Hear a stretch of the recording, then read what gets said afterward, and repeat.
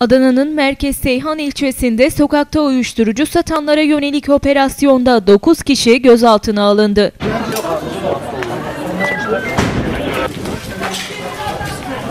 Adana Emniyet Müdürlüğü Narkotik Suçlarla Mücadele Şubesi ekipleri Ulubatlı, Meydan ve Dağlıoğlu mahallelerinde torbacı diye tabir edilen sokak satıcılarına yönelik operasyon düzenledi.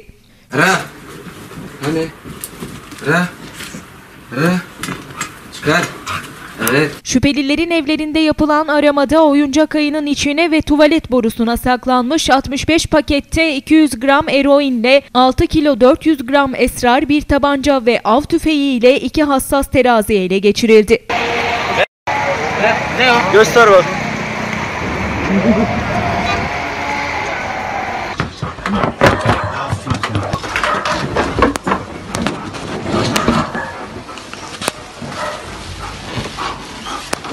Bu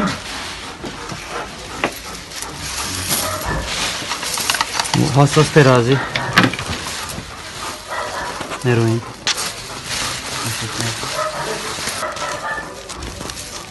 Eroin.